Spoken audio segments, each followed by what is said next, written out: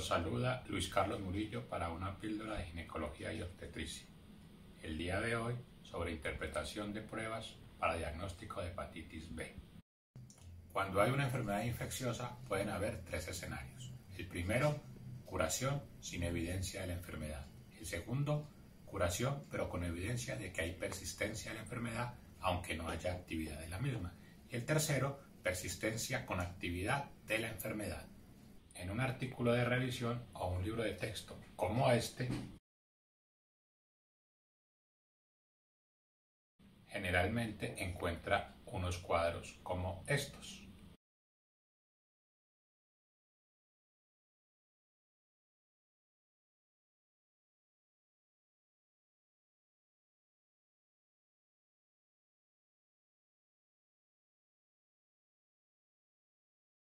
Usted se aprende de memoria para el examen, pero al siguiente día ya no recuerda cómo interpretarlo. En hepatitis B, los anticuerpos contra el core identifican el contacto del individuo con el virus de la hepatitis B. Los anticuerpos totales implican contacto alguna vez en la vida y la IgM contacto reciente con el virus. El antígeno de superficie implica persistencia de la condición y se define como crónica cuando pasan más de seis meses con positividad del mismo, pero no implica actividad de la enfermedad. El antígeno E implica actividad de la infección. Los anticuerpos contra el antígeno E significan control de la actividad de la infección por el sistema inmune. Los anticuerpos contra el antígeno de superficie implican inmunidad permanente. Están presentes en la infección natural cuando hubo curación y en la vacunación.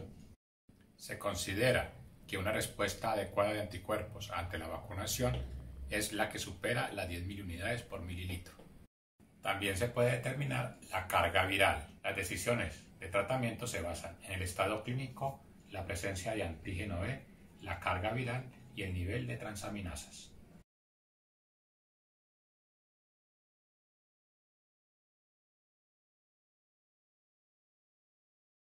Para el tamizaje de embarazadas se utiliza el antígeno de superficie. La principal medida para la prevención de la transmisión perinatal de hepatitis B es la aplicación al recién nacido de la vacuna, que es universal, y de inmunoglobulina contra hepatitis B en aquellos hijos de madre que son antígeno de superficie positivo.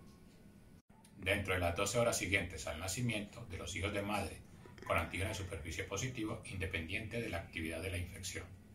Esta medida reduce en 90% la probabilidad de infección perinatal. A diferencia de lo que sucede en VIH, la supresión de la lactancia y la vía del parto no tienen ninguna implicación en la transmisión perinatal de hepatitis B.